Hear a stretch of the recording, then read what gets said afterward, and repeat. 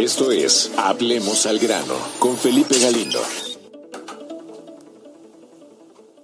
Hay con la pandemia dirigentes políticos que se han negado a lo que está ocurriendo, dicen que eso no existe o lo relativizan. Es el caso del presidente mexicano que se resistía a ponerse la mascarilla, parece se contagia y parece que se está resistiendo, que sigue resistiéndose. Sí, López Obrador, el presidente de México, se resistía a ponerse la mascarilla y dio positivo por coronavirus el pasado 24 de enero. Casi dos semanas después ha vuelto a reaparecer en público y ha superado la enfermedad, pero dice que sigue sin ponérsela, que no se la quiere poner porque en México eh, pues que hay libertad para que la gente, en fin, como él haga lo que quiera. Lo dice el presidente de un país, ojo al dato, que es el tercero con más fallecidos del mundo entero por esta pandemia. Y con la mascarilla, Alberto, ¿qué hace entonces? Se ha vuelto a comparecer sin mascarilla, como estábamos viendo. Ha vuelto a comparecer ante la prensa sin mascarilla, como ya lo hacía antes de tener el coronavirus. En esa rueda de prensa le han preguntado a los periodistas mexicanos en varias ocasiones si no se iba a poner el cubrebocas, que es como llaman allí la mascarilla, y él ha dicho que no, que respeta lo que dicen los médicos mexicanos, pero que él sigue, insiste en que no se va a poner la mascarilla. En México no hay autoritarismo. Está prohibido prohibir. Todo es voluntario. Lo más importante es la libertad. Tremendo, ¿verdad? El presidente de, un país con millones de habitantes, hombre. La libertad también consiste en que a veces la libertad de uno termina donde empieza la de los demás y a los demás hay que protegerlos. Es muy sencillo, no hay populismo que cubra esto. Y estupidez tampoco. Eh, doctor Infante, eh, cuando ve declaraciones de dirigentes políticos como estos, ¿cómo se queda? Pues me quedo muy, muy preocupado, sobre todo porque, claro, tienen una extraordinaria repercusión pública y alientan comportamientos insolidarios y peligrosos. Esto no se debería permitir, aparte de que este mandatario, esto de que en México está prohibido prohibir, bueno, yo me imagino que cumplirán las leyes de tráfico, ¿no? El tráfico y cumplir. Las del narcotráfico. A veces incluso uno diría, sería bueno prohibir la estulticia en algún caso. Pero no, tenemos que convivir con ella. Pero es cierto que, claro, evidentemente queda muy populista esto de prohibido prohibir, pero claro, pues sí, pues está prohibido tantas cosas en la vida por desgracia o por protegernos precisamente de los, de los imbéciles. Ahí, eh, ahí estamos viendo justamente lo que comentan a propósito de España, pero lamentablemente, insisto, en ese concierto de las naciones, el tema, la problemática el punto de vista del presidente de la República lo están viendo también a nivel internacional. Vamos con esto que nos trae Raúl García desde Argentina a propósito de estas ocurrencias del presidente de la República.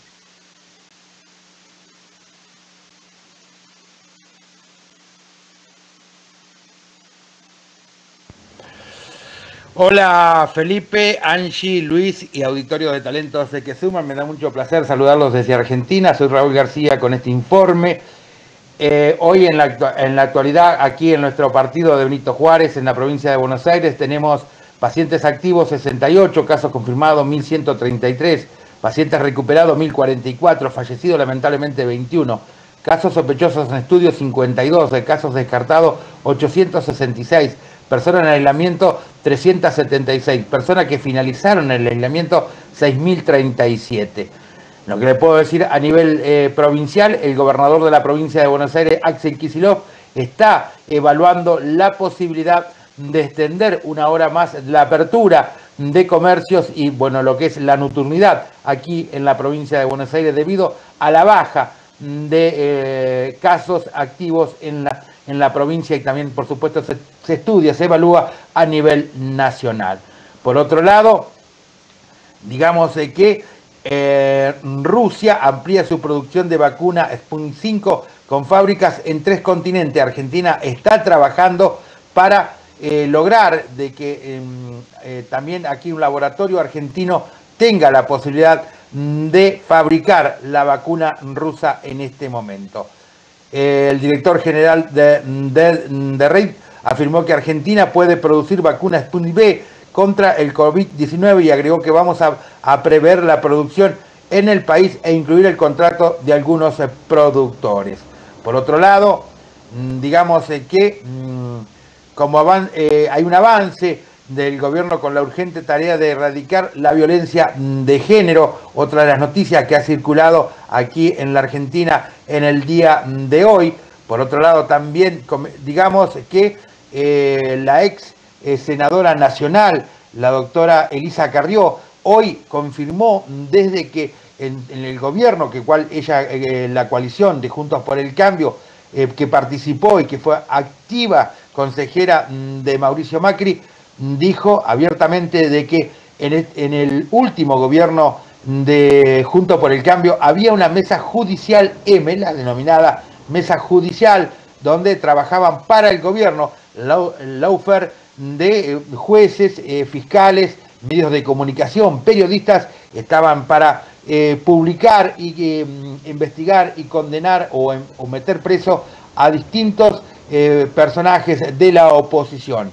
hoy fue abiertamente y bueno, luego vino una cataratas de crítica hacia Elisa Carrió que no, no salió a desmentir nada.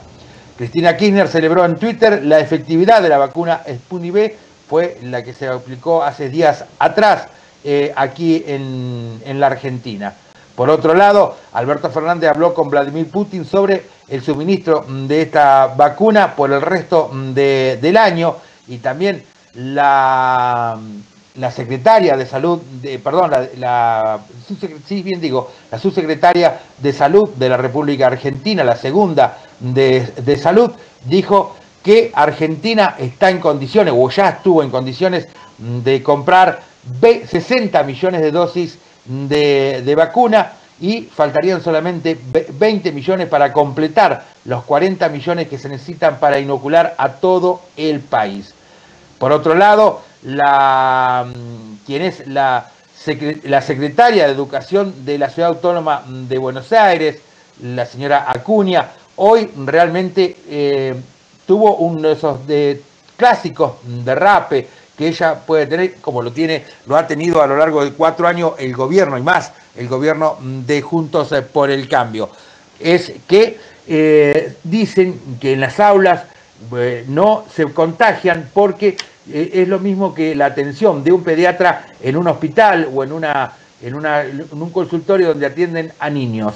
La verdad que lamentablemente es deplorable las declaraciones de Acuña y bueno, este, que no va a haber contagio cuando se inicien las clases en Capital Federal. Este fue el informe para Talentos que Suman desde Radio Poder 104.9 FM Benito Juárez, provincia de Buenos Aires, República Argentina. Muchas gracias y muy buenas tardes. Hablemos al grano. Pareciera que el presidente de la República se empeña en eh, pues continuar con este discurso que finalmente eh, también hay que decirlo, ha provocado miles de muertos, cientos de miles de muertos, que hoy por hoy, eh, pues eh, sin duda, muchas familias se han quedado ya sin algún miembro de la familia, o como decíamos, incluso con muchas, pues, las familias completas han ido a propósito del COVID, e insisto, creo que la gran reflexión que nos quedamos aquí en, en, estos espacios, aquí en, en Hablemos al Grano, es evidentemente la, actitud que nosotros vamos a tener frente a una tragedia, frente a una pandemia como la que estamos viviendo. Creo que ahora sí tenemos que hacer la diferencia de que el presidente de la República tendrá que eh, asumir su precio, tendrá que asumir su responsabilidad como mandatario, pero hoy por hoy creo que el mensaje principal es qué vamos a hacer nosotros como ciudadanos, como parte de las familias, como parte de la sociedad, para enfrentar esta situación. Ya vimos que el presidente de la República seguirá a pesar de lo que sea, con esta eh, forma peculiar, digamos, de gobernar, esta terquedad de él, esta, este propósito, digamos, que tiene muy claro, eh, como dicen algunos, de hacernos enojar. Y creo que no podemos caer en ese juego del presidente de la República. Allá nosotros si queremos seguir el juego. Él ya tiene perfectamente trazado lo que quiere hacer. Depende de nosotros hoy ser más responsables y evidentemente tomar todas las medidas, como lo hemos insistido aquí, como lo hemos comentado, como lo, tenemos ya muy bien amarrado aquí en cada uno de nuestros hogares. Tomar todas las medidas eh, eh, necesarias que debemos usando el cubrebocas, tomando la sana distancia, utilizando o, haciendo práctica ya una vida común, la cuestión de la salud, de la higiene, de lavarnos las manos, de, tomar todas las precauciones para no contagiarnos. Insisto, hay miles y miles de tragedias que a diario leemos, que a diario nos enteramos, de amigos que están eh, cercanos, de gente cercana, de muchos familiares que se han muerto. Y hoy por hoy no podemos subirnos ya, ya no nos alcanza nosotros como ciudadanos para subir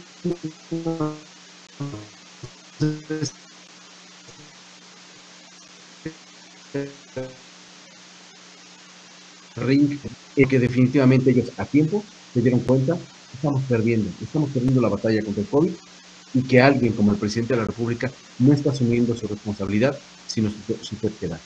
Hasta ahí dejamos esta, esta parte importante de lo que ha sido pues, el presidente de la República, ya no solo para nosotros, ya no solo para los que estamos en contra del sistema, los que son neoliberales o, somos, o son ahora pareciera que el mundo le está demostrando que el camino está equivocado. Pero allá él, allá él y su mala conciencia. Nosotros, nosotros sí sabemos qué tenemos que hacer y lo vamos a hacer. Hay otro tema que quisiera yo comentar y que para ello quisiera invitar a Luis Martínez Alcántara eh, para compartir una situación muy importante. Sabemos que en junio serán las elecciones, eh, pues donde efectivamente vamos a tener la oportunidad histórica de renovar el Congreso eh, Federal, es decir, la Cámara de Diputados, y también muchos de los espacios, presidencias municipales, 15 gobernaturas, eh, diputaciones locales, y creo que es fundamental, como lo hemos dicho en este espacio, y vamos a hacer, eh, vamos a seguir haciendo este énfasis, la importancia que va a tener esta fiesta democrática en la que los ciudadanos, por supuesto que vamos a participar, y que hoy por hoy quienes están fallando son los partidos políticos, curiosamente. Vamos a ver esta cápsula que presentamos y regresamos para el análisis. Esto es Hablemos al grano con Felipe Galindo. Hay una promesa, por ponerlo entre comillas, de los partidos opositores para darle espacio a los ciudadanos y pareciera que esto pues más bien fue una, una burla más de los partidos porque finalmente están viendo sus propios cuadros y están poniendo en un segundo plano o en un tercer o cuarto plano a la ciudadanía. ¿Cuál es finalmente la postura de ustedes a propósito de esta decisión? Y evidentemente, si ustedes tienen contemplado como, como organización, como grupo de organizaciones, crear alguna plataforma, digamos, que, les permita analizar precisamente si por encima si son actores o saben hablar bien en público, si realmente eh, coinciden con la agenda de lo que ustedes propongan, es decir, una plataforma donde puedan incluso calificar a los, a los candidatos que vayan de acuerdo a su perfil o de lo que ustedes como ciudadanos necesitan eh, independientemente de que sean actores o no. No, efecti efectivamente, Felipe. Eh, mira, eh, nosotros estamos ahorita en, en, esta etapa, estamos haciendo una reclamación muy fuerte por la traición de esta alianza de Va por México al compromiso explícito, firmado de apertura, de búsqueda de mejores perfiles, hombres y mujeres para las candidaturas. Y digo, no tenemos los nombres en este momento, ni quería, no es el objeto de esta, de este encuentro con ustedes, dar nombres o preferencias, ¿no? Pero, por ejemplo, dentro de Sí por México, eh, Coparmex y otras organizaciones hicieron un gran esfuerzo, incluso tuvieron eh, cursos y hicieron una labor a nivel nacional para la detección de posibles candidaturas de jóvenes, principalmente mujeres y hombres, pero también de líderes sociales que simplemente la alianza no tomó en cuenta. Y esto es para nosotros inadmisible porque pone en riesgo el objetivo central que hablamos de buscar el contrapeso en Cámara de Diputados, congresos y gobiernos locales de, de esta próxima elección. Hablemos al grano. Entonces, en esta primera etapa, porque todavía estamos en el mes de febrero, con toda la posibilidad de que los, de los, los partidos hagan ajustes tanto en las vistas que, aunque ya las hayan este, eh, aprobado, pueden que el presidente, el, el, presidente de la República, pues pareciera que la va a tener fácil, ¿eh? Porque hay una oposición que también eh, hace unos meses eh, se comprometió a, pues, a darle espacio a los ciudadanos, y no porque haya una cuota de ciudadanos que tengan que gobernar. A ver, creo que aquí hoy también tenemos la oportunidad histórica que, como bien decía eh, este grupo de, de ciudadanos, tenemos la oportunidad histórica de llegar a los mejores. Ya vimos que Morena no puede. Ya vimos que son incapaces, ya vimos que son igualmente corruptos, ya vimos que, que, se han ambicionado del poder, ah, vimos ya las intenciones que realmente tienen y que hoy los ciudadanos, insisto, este es, un, es una agenda ciudadana, es un espacio donde los ciudadanos podemos escoger a quién queremos de representantes en, la, en, en las cámaras, las cámaras locales o bien en la, en la, en la, eh, la Cámara de Diputados o bien en las alcaldías, en las presidencias municipales incluso en las gobernaturas. De nosotros dependerá que lleguen o no. Creo que esa es la parte en la que se olvidan los partidos políticos que pareciera que están pues, muy confiados en que obviamente como el, el, presidente lo está haciendo mal, pues ya la gente en automático va a votar por esa oposición. Creo que los partidos tendrán que darse cuenta que se pueden equivocar y se pueden llevar una sorpresa. ¿Por qué? Porque hoy, al momento de elegirlo, como veíamos, eh, a, hacer su, su, preselección, digamos, de candidatos, escogen ellos mismos y están dejando afuera a la ciudadanía. Ese es el gran problema que tienen los partidos de oposición. Pareciera que no aprendieron la lección, aunque ellos en el discurso, no, claro, ya están arrepentidos y van a hacer eh, todo lo posible por incluir a la ciudadanía. Creo que hoy los hechos me están demostrando lo contrario. Luis Martínez Alcántara, ¿cómo estás? Te, te, saludo con mucho gusto. Mucho gusto saludarte. Oye, Luis, pues eh, prácticamente los partidos, estos opositores, este bloque opositor que tanto prometía, eh, vimos que no, no aprendieron la elección, Luis. Fíjate que, que, que sí, eh, en eso tenía muchas razones nuestro compañero y amigo José Antonio, donde decía que, que, los partidos de oposición están muy chiquitos, no están a la altura de las circunstancias son unos enanos. Y, como decía, todos están confiados. Porque, al menos para mí, eh, ciertamente eh, la próxima elección de, del 6 de junio es una gran oportunidad para cambiar muchas cosas en México.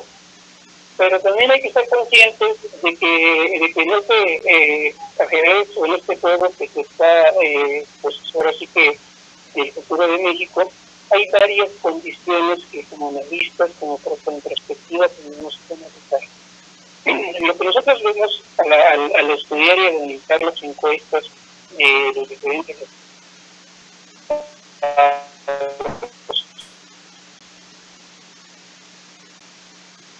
eh, de la, a nivel nacional también, una tendencia que una aprobación aceptable entre los mexicanos, a pesar de todos los errores. Y precisamente es lo que comienza uno de los posibles entonces, por una parte, lo que hay que ver es que él está teniendo este, pues una habilidad que hay que reconocerlo y entender el juego que están haciendo porque sus estrategias, yo tuve oportunidad de, escuchar una, una conferencia de un asesor de, este, de redes sociales, del observador, y la verdad es toda una estrategia que están aplicando que nosotros eh, lo habíamos este, analizado y pues yo cuando escuché a esta persona dije, oh, pues sí teníamos, teníamos cierta... Tiene sentido, tiene sentido cómo está comportando. Porque efectivamente le están apostando ellos a, a varias cosas. Una, redes sociales, donde su estrategia es muy clara, el mensaje es muy claro, y están reforzando esa opinión de, de buena de los mexicanos hacia, hacia López Obrador. ¿Por qué?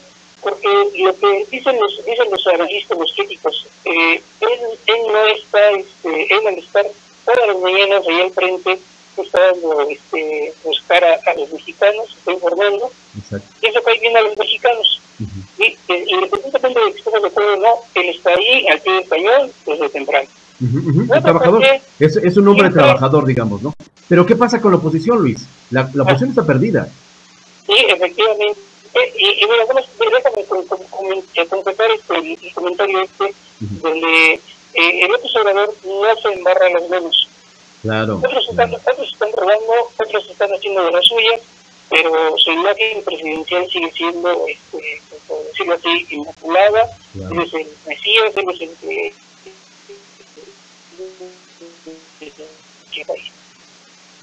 Pero todos están haciendo, este, leíamos que Forbes anunciaba que, este, que algo similar que está pasando aquí en México con, este, con, los, con los jóvenes eh, construyendo el futuro uh -huh. y este y eh, no solamente lo está haciendo aquí en México sino también lo está haciendo en, este, en los países de Centroamérica ¿sí?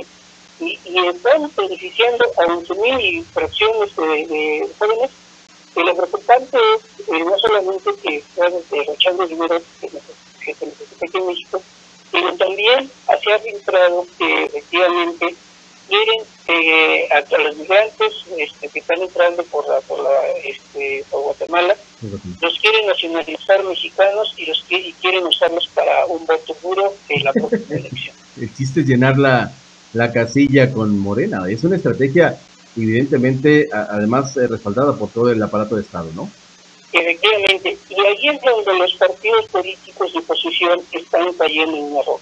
En primer lugar, lo que comentábamos efectivamente, eh, solamente son este, los mismos de siempre, y esto es muy, es muy lamentable porque eh, están este, pues, todo un negocio que solamente los diferentes grupos que convergen en los diferentes partidos derrotan entre ellos los puestos y no dan vida a, las, a los ciudadanos. Son los mismos, ¿eh? De verdad, descaradamente son los mismos.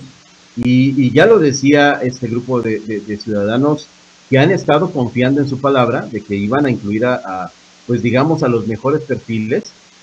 esta semana en esta conferencia de prensa de, estos eh, de, Ciudadanos por México lo decían, es una advertencia, es un llamado de atención a estos partidos políticos de Martínez. Así es que vaya, vamos a ver cómo, cómo responden, que va a haber un, un voto de castigo de la ciudadanía, no solamente para el presidente de la República, sino también para esta todavía oposición con registro. Es que vamos a ver cómo queda Luis. Gracias, Grano, y nos escuchamos la próxima semana, Luis. Claro que sí, hasta luego. Gracias. Nosotros vamos a un corte, estamos en Hablemos al Grano.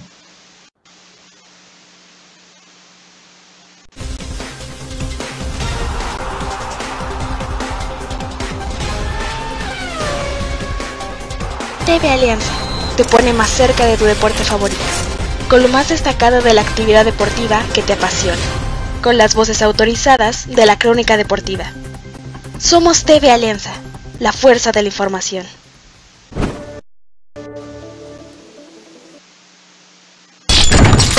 Esto es Hablemos al grano con Felipe Galindo. Estamos de regreso en Hablemos al grano. Oigan, de verdad que eh, quedó ahí la idea pendiente que vamos a retomar la próxima semana, porque precisamente pues, lo han calificado los, los, ciudadanos y quiero dejar nomás muy, muy empática esa idea. Tal parece que los partidos de oposición tienen esta gran tentación de traicionar a la ciudadanía. Pero nos quedamos con esa idea y en la siguiente le seguimos porque vale mucho la pena eh, eh, tocar ese tema y sobre todo las perspectivas de qué es lo que puede pasar. Todavía falta un buen tramo para el tema electoral, pero desde ahorita hay que poner la atención a, la situación. Vamos a otra situación. Eh, a propósito de la pandemia y de cómo eh, nos hemos enterado también de muchos negocios que han cerrado, algunos otros que se han replanteado, algunos eh, más se han ido del país. Recordemos a Best Buy que dijo, yo cierro las cocinas porque no hay condiciones para seguir en nuestro país. Y esto ha sido permanente, constante. Todos los días nos cerraron restaurantes, de que se reestructuraron, de que ya no tuvieron para pagar sueldos. Y hoy la verdad es que eh, este tipo de noticias nos, nos alientan mucho y me refiero a Harmon Hall. Usted sabe, usted seguramente ha escuchado esta, esta empresa, esta institución, digamos, educativa o de capacitación en temas de inglés, esta, esta marca. Que obviamente ya tiene, hay que decirlo, más de 50 años en el mercado y bueno, pues ahora incorpora en lo que es su oferta académica una nueva línea de cursos que le va a sonar un poco raro, pero son cursos en español y que obviamente responden pues a esta nueva modalidad, esta dinámica que estamos viviendo no solamente en temas personales con el COVID, ¿no? Con esta eh, nueva forma de entender también la, el, mundo laboral y obviamente pues se tiene que actualizar y creo que es una buena jugada estratégica la que hace eh, Harmon Hall porque eh, pues estamos acostumbrados obviamente a el tema de, aprender inglés en una escuela seria, en una institución que, por mucho tiene ya una metodología muy bien desarrollada. Bueno, pues ahora de este giro adicional, digamos, en esta nueva línea que ofrece a, eh, pues a, sus, a las personas que se quieran capacitar. Y lo interesante es que son tres categorías de aprendizaje y son vida y bienestar, negocios y finanzas y tecnologías. En este caso, digamos, están los cursos por ejemplo, en total son cinco cursos, digo, divididos en estas tres facetas. Dos de ellos están enfocados más bien a negocios y finanzas, que obviamente va a permitirles desarrollar todo el conocimiento y herramientas para liderar negociaciones de cualquier ámbito, tanto personal como profesional. Los temas que por lo pronto tienen contemplados son compartir y enseñar en línea y la negociación. Hay también en estas facetas, digamos, de tecnología, dos cursos que son eh, eh, community Manager y e e-commerce. Así es que finalmente son estos tópicos necesarios para la comunicación y obviamente para entender todo este proceso del e-commerce y todos los retos que implican hoy estar actualizado en esta situación. Y el otro curso está contemplado más bien para un tema considerado de bienestar y es que eh, se llama resiliencia y adaptación al cambio. dice que establece un panorama general importante para la gestión del cambio ante cualquier situación y lograr generar, eh, digamos, eh, o generar más bien alternativas y propuestas para enfrentar exitosamente los cambios atendiendo el conocimiento propio de las problemáticas actuales y la forma en que le afectan, con la finalidad de desarrollar una mentalidad de cambio y adaptación constante y ordenada que asegure su éxito en los distintos ámbitos de la vida. Hoy por hoy es algo que necesitamos urgentemente en nuestra vida a propósito pues de estos cambios voluntarios o involuntarios que hemos visto a propósito de la pandemia. Los cursos están dirigidos obviamente a jóvenes y adultos, se ofrecen de manera sincrónica con una duración de 8 y 32 horas y son impartidos a eh, dos veces a la semana, dos horas al día. Los costos están entre los mil y tres mil pesos dependiendo de la duración y obviamente pues estos productos llevarán sin duda a un liderazgo nuevamente ahora en Harmon Hall en temas de cursos que son prácticos y lo más importante es que van a servir para estar al día.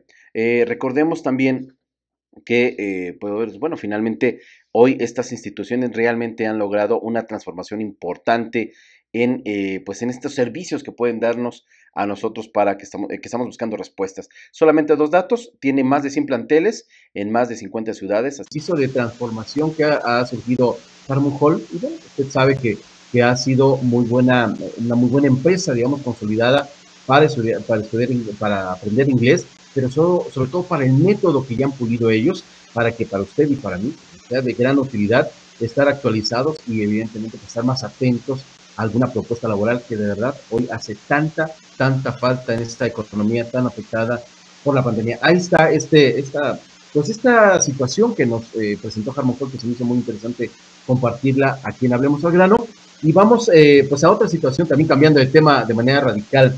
Ahora más con eh, México y con su historia. Eh, hoy, ya también a partir de hoy, vamos a tener ahí una serie de, cápsulas en los siguientes programas que tienen que ver con la historia de México. Yo sé que usted ahorita está poniendo cara de, híjole, nunca fue lo mío la historia de México, pero de verdad que es muy importante. Y aquí en Hablemos Hablando nos hemos aliado, digamos, también de los mejores y hoy presentamos esta cápsula eh, histórica, digamos, que miren, de verdad que le sirve porque tiene mucho de actualidad y mucho de sentido de lo que hoy vivimos. Solamente para adelantarle, imagínese usted, usted recordará que hace algunas semanas el presidente de la República ha estado insistiendo en tocar la puerta de España para que nos ofrezcan una disculpa. Usted ahora me va a entender, ahora que escuchemos la cápsula de, eh, de, historia, esta, que hemos preparado, para que se dé cuenta eh, cómo, cómo el presidente de la República está nuevamente equivocado. Nemesio Rodríguez Lois, este comunicador historiador, es quien participa hoy aquí en Hablemos al Bienvenida y Nemesio Rodríguez, qué gusto escucharte, ¿cómo estás? Muy bien, Felipe, es para mí un honor estar en tan prestigioso programa y pues trataré de corresponder y de estar a la altura, ¿verdad? Oye, Nemesio, pues tú, tú, has sido un comunicador y tú conoces perfectamente el ritmo de los medios de comunicación y cómo, curiosamente, los mismos medios cometemos este tipo de omisiones, errores, ya sea de manera intencional o por ignorancia. Y hoy quisiera rescatar un tema que a mí me lo enseñaron de una forma en la escuela y leyendo mucho de, de lo que tú has escrito, Nemesio, de las conferencias que has impartido por muchos años, veo que lo que aprendí en la escuela no tiene nada que ver con la conquista, con la historia de México y finalmente con el nacimiento de una nación como nuestro país. Quisiera que empezáramos, Nemesio, eh, si hoy por hoy vale la pena celebrar este encuentro de los dos mundos, de esta España malvada, con esta, con esta, pues eh, estas eh, zonas, digamos, indígenas que recibieron pues a los españoles y que ya hasta hay que pedir disculpas. ¿Consideras tú que vale la pena celebrar este encuentro de dos mundos? Sobre todo por si hay alguna ventaja en esta pues de este encuentro con el continente americano, Nemesio? Pues yo pienso que sí hay que celebrarlo y, por lo grande, ¿verdad? Porque significó el encuentro entre dos mundos, el viejo y el nuevo mundo, significó la entrada del nuevo continente, del nuevo mundo, en la civilización occidental. Claro que vale la pena. Indudablemente no fue un simple encuentro como dos amigos o enemigos que se encuentran en, en una esquina, ¿no? Simplemente pues significó algo, ¿no? Porque hasta el, hasta el día 12 de octubre de 1492, América, nos dice el doctor Alberto Caturelli, filósofo argentino, América no existía. En las comunidades precolombinas no había ni rastros de conciencia de continentalidad. Y lo hispano-católico actuó como el principio determinante, unitivo, que comunicó esa unidad al todo. O sea que no había, no había, digamos, no había conciencia de nación. Por ejemplo, no, no existía el continente americano como una entidad jurídica, como un como estados libres y soberanos. Por ejemplo, un apache no tenía idea, ya no digo de la existencia de un guaraní del Paraguay, sino de incluso de un pima de Sonora. O un, y un pima de Sonora no sabía que existían los mayas, y los mayas no sabían que existían los incas, eran pequeñas tribus dispersas y hostiles entre sí. Entonces, a través de, a partir del encuentro de dos mundos, se empezó a unificar en un todo, y hoy tenemos un gran continente que tiene un mismo idioma, una misma religión y una misma raza, que es la mestiza, ¿verdad? Es más, voy a citar aquí a un historiador liberal, liberal, este, incluso anticlerical en cierto modo, uno de los autores de México a través de los siglos, Vicente Riva Palacio. Nos dice él en su obra México a través de los siglos, es el antecedente inmediato de la historia oficial, en la cual se inspiran los amanuenses de la historia oficial. Dice así, el descubrimiento de las Indias era una necesidad de la ciencia, la conquista de ellas un derecho de la humanidad y la conversión al cristianismo de sus habitantes una exigencia de la civilización y del progreso. Medio mundo no podía estar ignorado del otro medio. Los pueblos descubiertos por Colón eran como una nota discordante en el progreso general y tenían que hacer en pocos años el largo camino que había costado muchos siglos a los del antiguo continente. La conquista de las Indias, nos sigue diciendo el liberal Vicente Riva Palacios, era un derecho de la humanidad porque necesitaba estar uniformemente regida por un código de la moral que forma parte de la predicación evangélica. Y esa uniformidad en ciertos principios fue la gran preparación del espíritu humano para alcanzar la época de libertad y ciencia en que nosotros vivimos. Esto lo dice un anticlerical, enemigo de la Iglesia, enemigo de España, en el siglo pasado, en una obra que se llama Resumen Integral de México a través de los siglos, que fue editada hace algunos años por la Compañía General de Ediciones. ¿Cómo es entonces, eh, Nemesio Rodríguez, que se compra esta idea de que hoy hay que pedirle, hay que, hay que decirle a España que, que, que nos dé, ¿cómo se dice? Que, que, nos pida perdón por esta invasión, por, por haber eh, humillado a estos, eh, estos eh, indígenas y esta visión romántica de que estábamos bien cuando estaban los aztecas, cuando estaban los olmecas, cuando estaban culturas muy desarrolladas. ¿Cómo lo entiendes tú? ¿Qué, parte de la historia no estamos entendiendo, Nemesio? que hoy hasta el presidente de la República se ha atrevido, muy, eso sí, muy, muy en, este, envalentonado para exigir disculpas públicas al actual gobierno español. Pero mira, realmente estos son lodos de aquellos polvos. Realmente mucha gente, a lo mejor hasta pienso que no son ni de mala fe, pobre gente, son ignorantes, ¿no? Más bien son ignorantes. Se basan en la historia oficial. Una historia oficial que fue escrita por una serie de amanuenses del sistema, en la cual se denigró todo lo español y todo lo católico, porque con, con, curiosamente lo español y lo católico y lo mestizo son los pilares de la nacionalidad, ya no solo mexicana, sino este, hispanoamericana, iberoamericana. Entonces esta pobre gente, pues hombre, por ignorancia, pues vaya, pues no, no se les puede dar otro calificativo que venga uno pidiendo perdón. Es más, voy a citar aquí el domingo 31 de marzo del año 2019, ese magnífico caricaturista que es Calderón, Sí, claro. Calderón es caricaturista, no el expresidente. en el periódico Reforma, pues saca una viñeta eh, y dice lo siguiente. Miguel López de Legazpi era alcalde de la Ciudad de México cuando se le encomendó la conquista de las Filipinas. Continúa y re responde. Si el demagogo Rodrigo Duterte, o sea, el presidente de las Filipinas, le exigiera a la Ciudad de México una disculpa por haberle enviado, ¿qué le respondería a la doctora Sheinbaum? Eh, curioso, ¿no? Bueno, también dentro de lo mismo, ¿qué contestaría México si España le exigiera disculpas por las matanzas que hizo Hidalgo en la lóndiga de Granaditas en Guadalajara? ¿Qué, ¿Qué, pasaría si China le exigiera a México disculpas por las matanzas que hizo Pancho Villa en Torreón de ciudadanos chinos, que fueron verdaderos genocidios? O el Vaticano, si pidiera disculpas por las víctimas del callismo, ¿verdad? De que hijos y todo, ¿no? Pero en fin, esto más que nada es parte de ignorancia, parte querer sobresalir y todo. En fin, es más, incluso un, un, este, un personaje que es don Héctor Zagal, es todo un doctor en historia y todo, dice, él, dice lo siguiente, ¿no?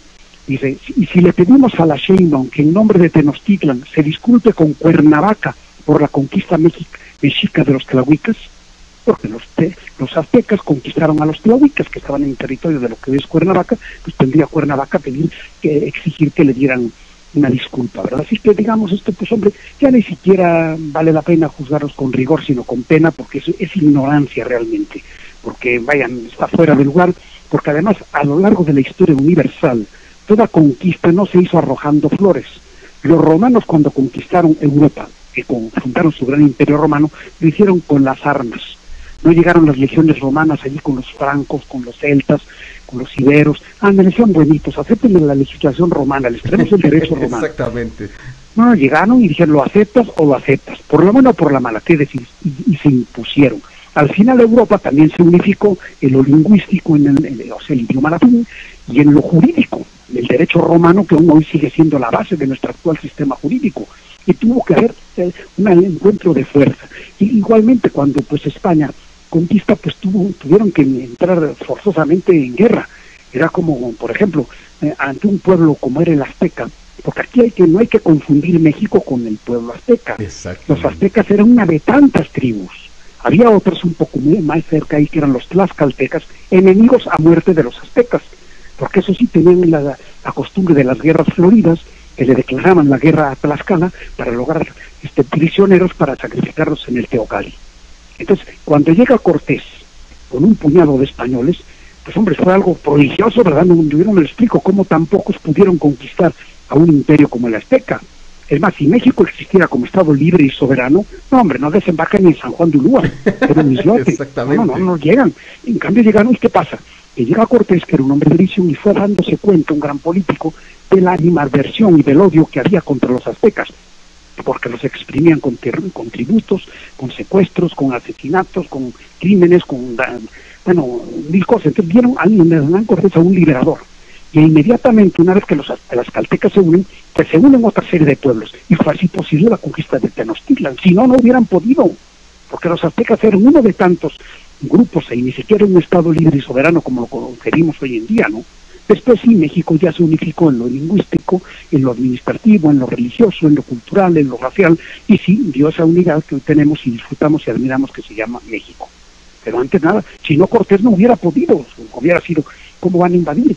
Por muchos, por mucha pólvora que trajeran, pues la pólvora se acaba, amigo. Exactamente, exactamente. Y, y, por muchos caballos que al principio un poco asustaron al indígena, lo apantallaban, pues que pensaban que caballo y, y jinete eran la misma cosa. Como pues, dicen. hombre, después ya dijeron que no, ¿verdad? Le echaban bola y lo, lo, lo acababan, los aniquilaban a los españoles.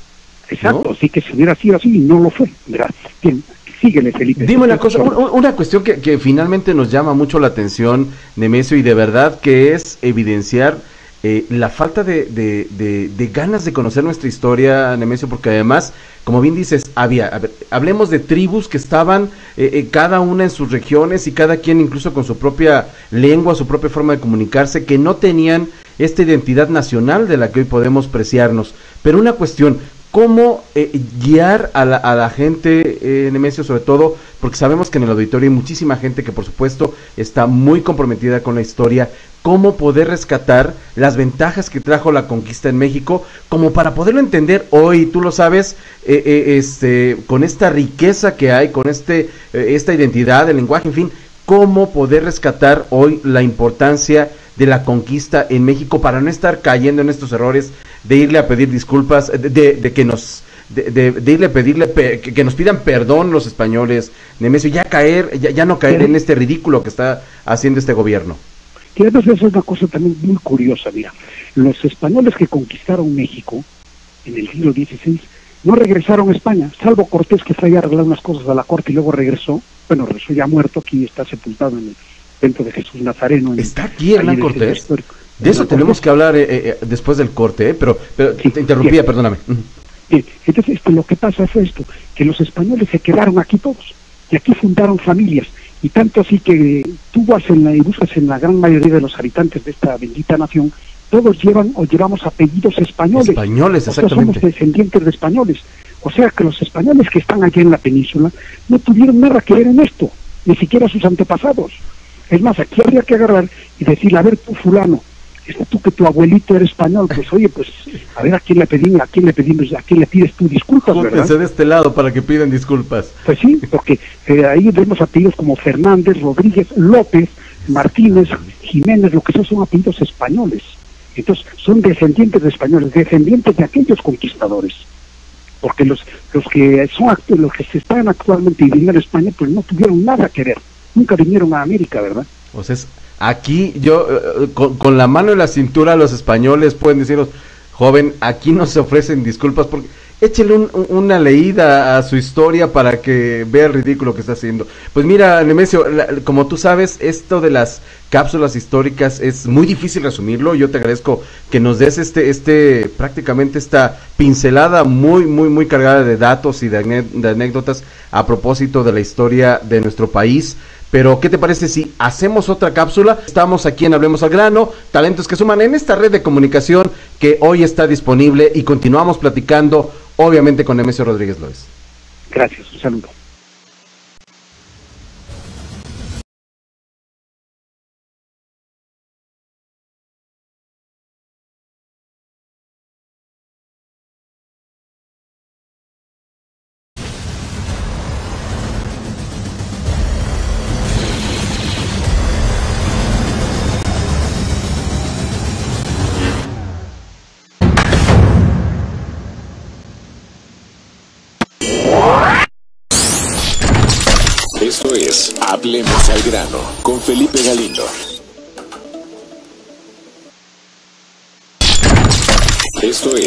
Hablemos al grano Regreso aquí en Hablemos al Grano. Y bueno, ya para, para irnos a un tema, a la fase, digamos, del programa, un poquito más relajada, más para disfrutar, queremos compartirles esta plática que tuvimos con Tania Libertad, esta cantante peruana que de verdad ha logrado eh, encantar a los corazones mexicanos.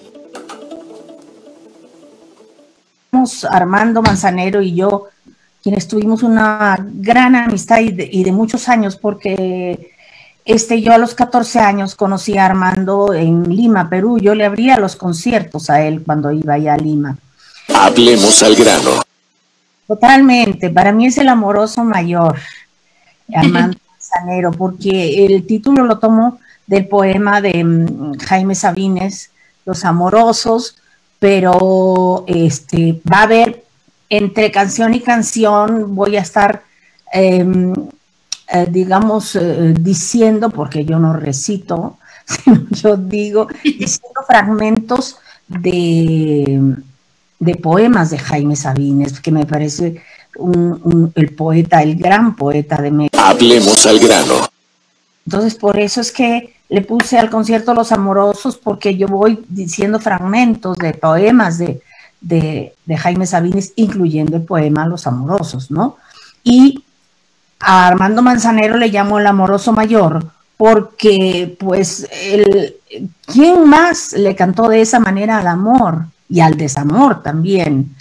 Con una elegancia, con, una, con un conocimiento, con, con una musicalidad maravillosa. O sea, Armando, eh, hasta ahora, este, ayer que me junté a mi primer ensayo para este concierto, yo decía, no es posible que Armando no esté aquí con nosotros. Pero Hablemos al grano. cuando empezamos a cantarlo, nos dimos cuenta que sigue estando aquí y que, y que seguirá mientras exista el amor, o como dice su canción, mientras existas tú.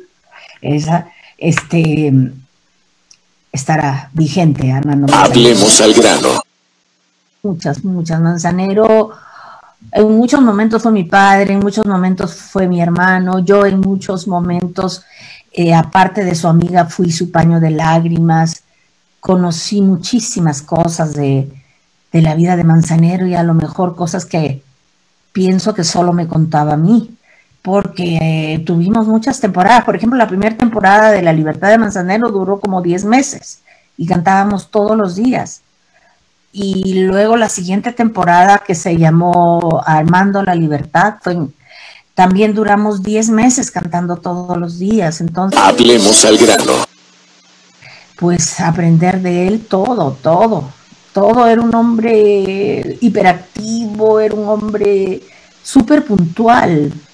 Eso es una cosa increíble. Él decía a las 12 nos vemos y a las 12 en punto estaba llegando. Hablemos al grano. Entonces él eh, predicaba con el ejemplo, o sea, un hombre de verdad, de verdad, y le- con un talento, con un, bueno, acuérdate que él no solamente era compositor, él era arreglista, él era director de orquesta, estudió música desde los, desde los 7, 8 años de edad. Entonces, era un hombre que no le podías engañar, o sea, no, te, no podías echarte una desafinada que te la anotaba inmediatamente, ¿no? Hablemos al grano. Pues mira, el reto es eh, trascender esta barrera que es la pantalla, que es una, una televisión o es un eh, smartphone o es una tablet o es una computadora y lograr este, transmitir los sentimientos y las emociones que este, contienen las canciones, que fueron puestas allí por sus compositores y que le llegue a la gente de la misma manera de, con, con, con la misma eh, fuerza, con la, con, con, la misma emoción con que, con que la hizo el compositor. Hablemos al grano. Pues no, acuérdate que a mí, a mí por lo menos me ha tocado cantar para seis personas, para cuatro personas, y, y este, y no, y, y, cuando yo entraba, primero entraba como muy deprimida, pero luego pensé, este, cerraba los ojos y decía, estas seis personas van a terminar de pie y pidiéndome otra. Y, lo hacía yo con, con, tanta emoción, con tanta fuerza, ese concierto, que terminaba la gente de pie y pidiéndome otra. Eso fue cuando recién llegué yo aquí a México y después, eh, y lo, lo siguiente que pensé fue, el próximo año van a venir 100 y así fue. Y luego dije, el próximo año van a venir 500. Y así fue. Hasta que llegué a llenar escenarios de 10 mil personas y luego cantado para 40 mil personas. Entonces, uno tiene, uno da lo mismo cantando para dos personas que para mil o que para 10 mil. Es exactamente lo mismo. Hablemos al grano. No sé, todavía no sé si Sabo se anime a, acompañarme a, cantar las esperanzas, pues sería lindo, ¿no? Este, pero si no, eh, lo que puedo prometer es un streaming con Sabo más adelante, ¿no? Para cantar todas las canciones que tenemos, que estamos, que está divino. Ya tenemos cinco canciones listas con videos y todo. Eh, ahora vamos a grabar otras cinco y después vamos a ir montando canciones incluso algunos boleros, algunas cosas, pero en, una, en otra onda, en la onda que él se imagina, que es bastante, bastante locochona su onda. Entonces, este, vamos a, a, tratar de hacer un repertorio de unas 20 canciones para aventarnos también un streaming. Hablemos al grano. No, mi invitado sorpresa es el homenaje que hago a mi querido Armando Manzanero este, cantaré muchas canciones de él. Este, yo hice, aparte de los tres discos que hice a dúo con él, le hice un homenaje que se llama Manzanero a tres pistas, y donde canté una parte, hice los arreglos yo que hice con música electrónica, en otra parte los arreglos fueron hechos por Nacho Mañó eh, desde España, y otra parte el tercer disco está acompañado por el mismo Armando Manzanero en el piano y yo, y yo en, la voz. Hablemos al grano. Nada más, pero este, lo del comentario de música urbana es porque sí me da risa, porque todos los que estamos aquí, eh, en, eh, los que vivimos en ciudades, más de una ciudad tan grande como la Ciudad de México, no, pues somos urbanos. caminamos aquí, vivimos aquí, comemos aquí. Esto es, esto también nos merecemos, es este el término de que hacemos música urbana. Pero bueno, yo prefiero decir que hago música del mundo. A mí me gusta el término más porque es más universal, ¿no? Pero no, está todo bien. Yo creo que hay espacio para, para todos. El, el, arte es, es, es, lo bueno que tiene el arte, que, que permite todo tipo de expresiones y, hay que saber disfrutarlas y no pelearse con ellas. El día que yo, que a mí me traigan un lindo reggaetón, lo voy a cantar, por supuesto que lo voy a cantar. Hablemos al grano. Les voy a ir adelantando qué es lo que voy a cantar, por ejemplo, de Manzanero. Perfecto. En la parte del homenaje de Manzanero, este, te voy a cantar Adoro, pero en otro, en otro tiempo, en otro ritmo. A mí me encantaba sacar a Manzanero del bolero y cantarlo en ritmos peruanos, por ejemplo, ¿no? Adoro le hice un arreglo en Landó, luego voy a hacer el Somos novios contigo, aprendí mía y no sé tú, que es un medley que cantábamos con Armando Manzanero y que me va a hacer la, la voz que hacía Manzanero, me lo va a hacer este, mi pianista, que es una gran cantante, que es Caridad Herrera. Vamos a hacer ese, ese dúo ahí. Luego este, voy a cantar otro medley con Salud, Cariño y con Esperaré.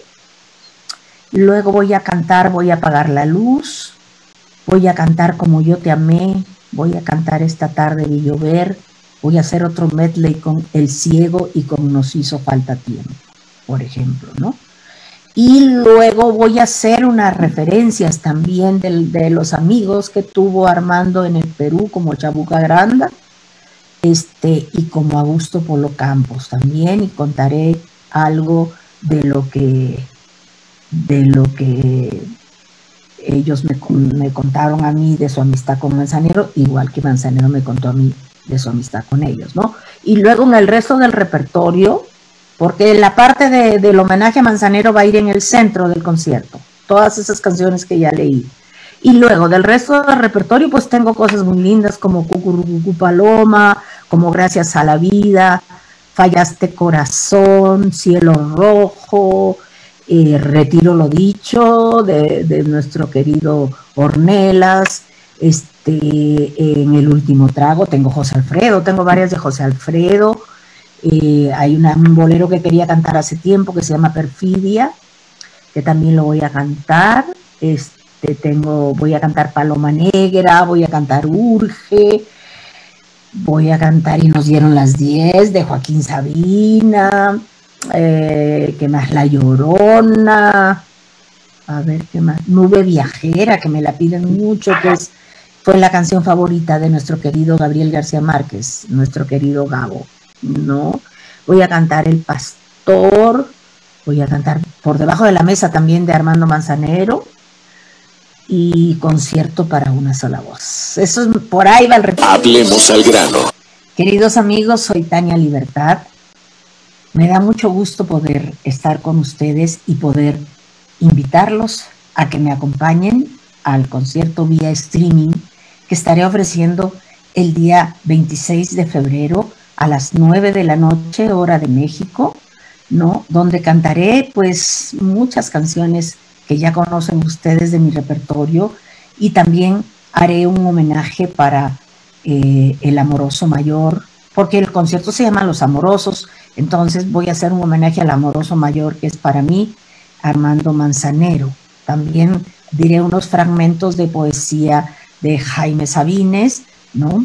Así que los espero, espero que todos se puedan conectar a través de la plataforma de eTicket Live y puedan comprar sus ingresos también en eticket.mx. Día 26, viernes creo que es, viernes 26 de febrero a las 21 horas, hora de México. Hablemos al grano con Felipe Galindo. Es, que nos hace Tania Libertad. Todos seguramente hemos escuchado, y si usted, usted no, ha escuchado a Tania Libertad, dése una vueltecita por lo pronto en las redes sociales, seguramente va a encontrar el, concierto que hicieron hace algunos años eh, de La Libertad de Manzanero, ese disco que tuvo cualquier cantidad de éxitos Así es que de verdad vale mucho la pena este homenaje muy sentido que le va a hacer Tania Libertad, pareja prácticamente de eh, Armando Manzanero en esta amistad que lograron consolidar por muchos años. Desde, imagínense ustedes, dice, lo conocí cuando tenía yo 14 años en Perú y yo ya cantaba. Yo le abría los conciertos a Armando Manzanero cuando iba a Perú y de ahí para acá se vino para México, se enamoró de México y bueno, pues aquí ya hizo su vida artística exitosísima de Tania Libertad, así es que no se pierdan esta invitación que hicimos aquí en Hablemos al Grano, por supuesto en TV Alianza, pero seguimos con más recomendaciones ya para bajarle la presión de la parte política, la parte dura. Vamos ahora más bien con otro tipo de contenidos. Y es que eh, el próximo, fíjense ustedes, eh, todos los martes, todos los martes. Punto, particularmente en, punto de las 21.35 horas, ya se estrenaron los nuevos capítulos de Alto Frontera. Ya se estrenó ayer, ayer martes, el, digamos, ya vienen los nuevos capítulos que hay que recordar que es una serie narrada por el reconocidísimo actor y conductor mexicano Julio Bracho, eh, pues para esta serie original de A&E muestra obviamente las ingeniosas técnicas de contrabando y las dramáticas situaciones que se viven en 15 puntos limítrofes en países latinoamericanos como México, Brasil, Colombia, Chile, Bolivia y Perú. Y ya saben ustedes, por tierra, por cielo o por mar, los agentes deberán poner un alto al fin ilegal de divisas, eh, no solamente de divisas, eh, de personas, mercadería, armas y drogas. Así es que esta es la nueva propuesta que ella ni nos tiene. Si ustedes no lo vieron, pueden verlo hoy, por supuesto. También viene una repetición en punto de las 17.50. Acabando nuestro programa, ya esperan por ahí 17.50 y también está disponible en esta pues eh, video, on demand, digamos, que tiene A&E Play. Así es que ahí está la invitación. Alto Frontera, de verdad, totalmente recomendable para que usted pase pues una tarde interesante, una noche interesante con estos contenidos que ofrece A&E. Otro de los contenidos y propuestas que también eh, esta serie, que ahora digamos está clasificada en diferentes países, pero Narcos México ya va a estrenar ahora su segunda temporada en A&E. Vale, dejar que vale mucho la pena, estuvimos eh, también en una conferencia de prensa que ofrecieron con parte del elenco y con la productora de Narcos México y se sorprendían, lo cierto es que llamaba mucho la atención porque el contenido, la forma en la que, en la que se está contando esta historia, pues la verdad es que logra eh, despertar el interés de propios extraños. Les cuento un poquito de qué se trata. En esta nueva entrega de la exitosa serie protagonizada por Diego Luna, eh, que narra la historia del narcotráfico en México bajo el liderazgo de Miguel Ángel Félix Gallardo, se ubica más o menos por ahí de mediados de los 80, luego del asesinato de la gente de la DEA Titi Camarena. Ustedes recordarán, bueno, ustedes son muy jóvenes, pero hace algunos años, justamente en, esta, en este pleito que había o en esta cuestión de seguridad, no sé por qué, me recuerda mucho a lo que hoy está pasando en nuestro país. A propósito, ustedes saben que liberaron a Cienfuegos. Es de verdad inevitable hablar de, política y más en estos tiempos, pero vale mucho la pena retomar esta, esta historia que nos cuenta ahora eh, ella ni también, eh, porque el cártel liderado por Gallardo pues se, se fragmenta, empieza a tener sus problemas internos y obviamente todos los cambios sociales y políticos dentro de nuestro país pues impulsan también una, una clave de un tema que le va a cenar familiar, la corrupción.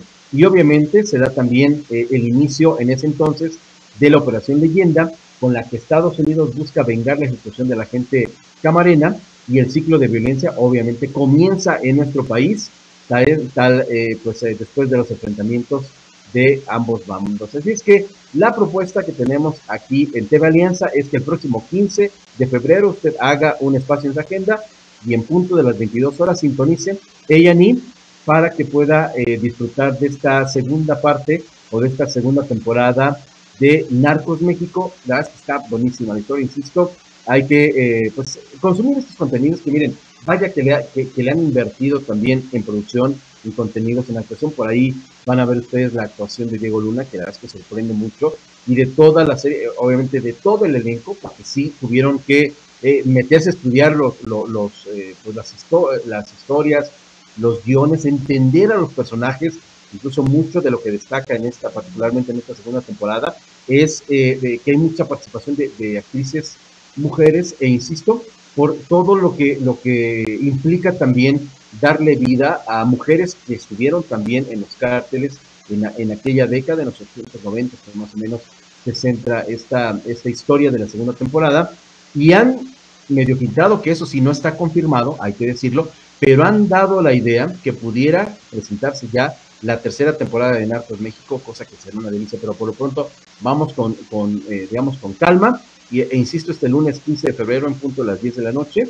por A&E, la segunda, eh, la segunda parte, digamos, la temporada 2 de Narcos, para que no se la pierdan. Y para, para, ir cerrando, pues prácticamente hemos concluido ya todos los contenidos que teníamos programados para esta, eh, esta semana aquí en Hablemos al Grano. Agradecerles, por supuesto, la eh, generosidad de su presencia, los comentarios que nos dejen aquí en las redes, en las debidas, en las distintas redes sociales de TV Alianza. Yo soy Felipe Galindo y quiero agradecerles de verdad. Y quiero agradecer a todo el equipo que hace posible estos enlaces, por supuesto, comenzando con la profesora Yolanda Terres Valle, obviamente por el profesor eh, Pedro Fernández Centeno. En la producción, todo lo que usted ve aquí de estos enlaces que hacemos están bajo el mando de Marco Antonio Mata y de Alfredo Cocoletti, a cuales les mando un abrazo virtual desde aquí. Yo soy Felipe Galindo y los esperamos la próxima semana aquí en Hablemos al Grano. Gracias. Hablemos al grano con Felipe Galindo. Esto es Hablemos al grano con Felipe Galindo.